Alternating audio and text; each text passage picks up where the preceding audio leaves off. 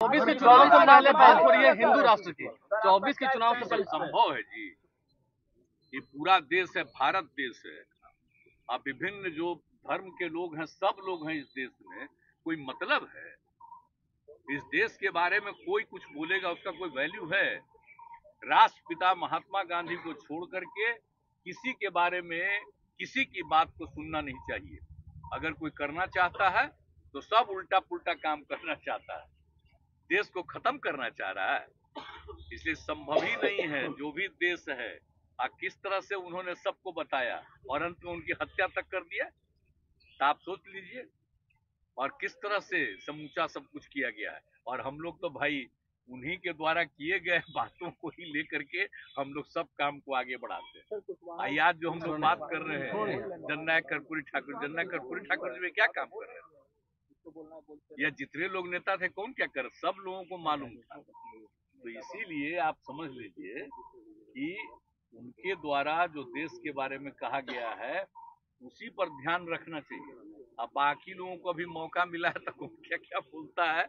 अब चलिए अब इस चुनाव के बाद जो जनता फैसला लेगी उसके बाद है ना सब कुछ हो पार्लियामेंट में तमाम चाहते हैं तो जो हम लोग काम कर रहे हैं। उन्हीं को जानिए और ज़रूरत पड़ेगा तो अपना उसके बारे में बताते रहिए। आप तो मान- शुरू से।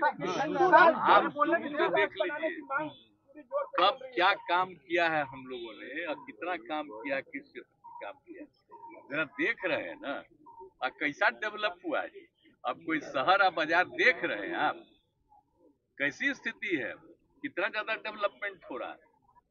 कहाँ कैसा मकान दिखता था आपको? अब कौन क्या बोल रहा है तो बोलने दीजिए उसको कुछ पता है। ये जो बन रहा है यहाँ पर वो अभी जो ये और आठ नौ साल से केंद्र सरकार है उससे कुछ है।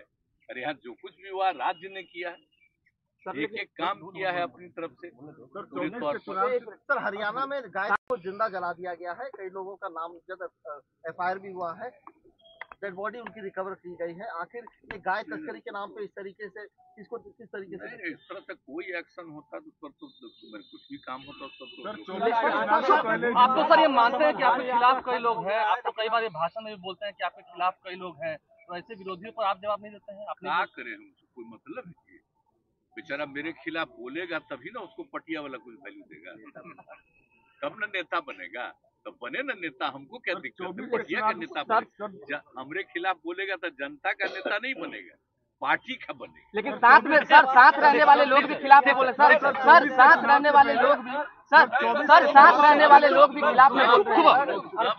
रहे हैं काम कर रहे हैं समझ गए ना?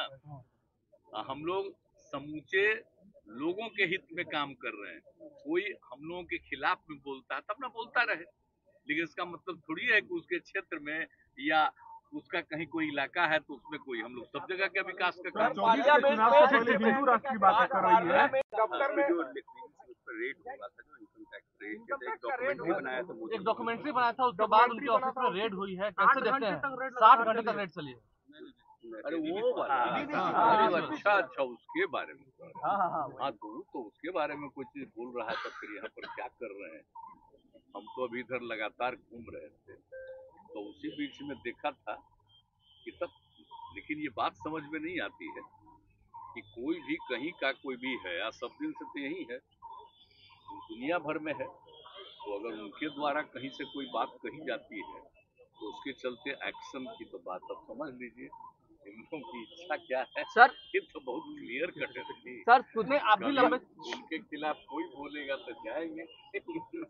सर सुधाकर भी लंबे समय सरकार ठीक नहीं लगा है कि क्या मामला है? हम तो लगातार अपना यात्रा पर थे ताज़ा पूछ रहे हैं। तो हम और आज डिटेल जरा सा क्या क्या लिखे देखेंगे क्योंकि हम बहुत इंगेज थे। एक देखे ज़रूर थे हल्का सा एक आप भी लंबे समय से सरकार में हैं आपके खिलाफ आप भी लंबे समय से सरकार में हैं आपके खिलाफ भी खबरें चलती हैं तो क्या ऐसा एक्शन आप मुनाजिर हमको समझते काहे हैं के लिए? जिसको जो मन करे जो लिखे कोई करे तो हम कभी कुछ कहते हैं जिसको जो मन करे करते रहे लिखते रहे हम लोगों का काम है लोगों की सेवा करना और काम करना। हम लोग रात दिन काम करते रहते हैं सबके हित में काम करते रहते हैं। लेकिन कोई हमारे खिलाफ बोले तो बोले अपना कोई फ़र्क नहीं पड़ता। है मालिक तो जनता ना है जी उसको ना देखना है कोई चीज़ कि कौन क्या कर रहा है कौन नहीं कर रहा है। लेकिन कोई कुछ बोलते रहता है तो आजकल हम जानते नहीं है। हम लोग जितना पहले कम्मा करते थे तो सब छपता था जी। आजकल हम लोग काम करते हैं तो सब छपता है। खिलाफ बोलता है वही ज़्यादा छपता है। जाने दीजिए सर सुधाकर सिंह सर सुधाकर सिंह विधायक है सरकार में। उन्होंने कहा कि ये सरकार किसान विरोधी है मजदूर विरोधी है कैसे देखे? किसानों के लिए कोई काम किसानों के लिए काम नहीं है किसी का नोटिस ले रहे हैं। आपको ये पता है ये जो सरकार है किसानों के हित में कितना काम की है?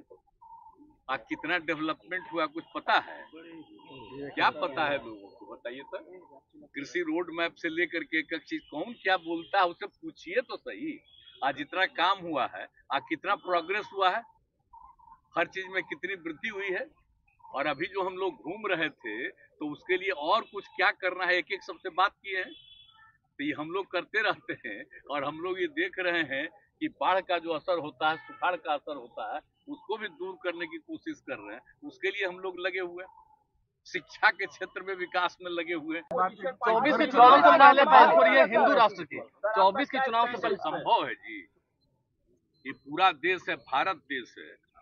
अब विभिन्न जो धर्म के लोग हैं सब लोग हैं इस देश में।